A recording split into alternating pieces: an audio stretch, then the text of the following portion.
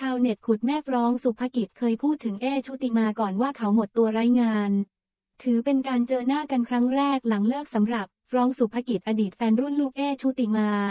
ได้เดินทางร้องขอความช่วยเหลือเพจสายไหมต้องรอด โดยอ้างว่าหลังจากเลิกกันได้ย้ายออกมาจากบ้าน และฝ่ายหญิงได้ขอรถยนต์หรูและบ้านซึ่งเป็นชื่อฝ่ายชายไว้ แต่ต่อมาพบว่าทั้งบ้านและรถยนต์ในหรูที่นักแสดงรุ่นใหญ่ขอเอาไว้ ค้างผ่อนค่างวดกว่า 5 เดือน จนทำให้บ้านถูกธนาคารยึดทำให้เสียเครดิต ส่วนรถยนต์ทางไฟแนนซ์ได้เตรียมฟ้องร้องดำเนินคดี เนื่องจากฝ่ายหญิงไม่ยอมผ่อนต่อและนำรถไปหลบซ่อนไม่ยอมส่งมอบรถคืน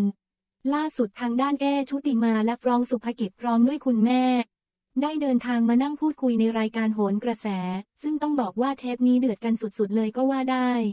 ต่างฝ่ายต่างตอบโต้กันไปมาแบบยอม โดยทางด้านแม่ฟรองสุภกิจเผยสาเหตุลูกชายฟรองสุภกิจเลิก เอชุติมาเพราะว่าฝ่ายหญิงหมดตัวไม่มีเงินทั้งๆทที่เคยสัญญาจะเลี้ยงดูลูกชาย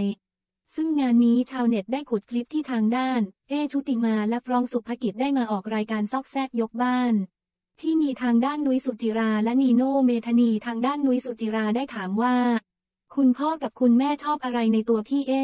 ทางด้านคุณแม่ฟรองสุภกิจได้ตอบว่าชอบตรงที่ว่าเขาจริงใจเป็นคนตรงดี เป็นผู้ใหญ่ที่สามารถสอนลูกเราได้ และแนะนำในทางที่ดี เปรียบเสมือนเป็นผู้ปกครองคนหนึ่ง ฝากฝัง ฝากลูกเอาไว้ได้พร้อมกับอวยพรขอให้พี่เอกับฟรองรักกันนานๆ อย่าทะเลาะกัน แล้วก็ฝากพี่เอให้ช่วยดูแลลูกด้วย เพราะมั่นใจว่าพี่เอดูแลฟรองได้ดีค่ะ